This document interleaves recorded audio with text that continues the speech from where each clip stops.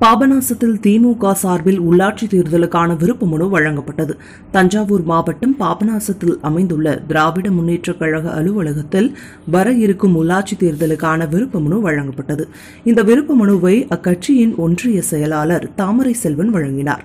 மாவட்ட councillor ward எண் ஒன்பதற்கு உண்டான விருப்ப மனுவை பாத்திமா ஜான் ராயல் அலி பூர்த்தி செய்து ஒன்றிய செயலாளர் இடம் வழங்கினார். அதேபோல பாபநாசம் ஒன்றிய கவுன்சிலர் பதவிக்கு உண்டான வார்டு எண் பத்தொன்பதற்கு விருப்ப மனுவை ரசியா பேகம் முகமது இப்ராஹிம் பெற்றுக்கொண்டு பூர்த்தி செய்த விண்ணப்பத்தை கட்சியின் ஒன்றிய செயலாளர் இடம் ஒப்படைத்தார்.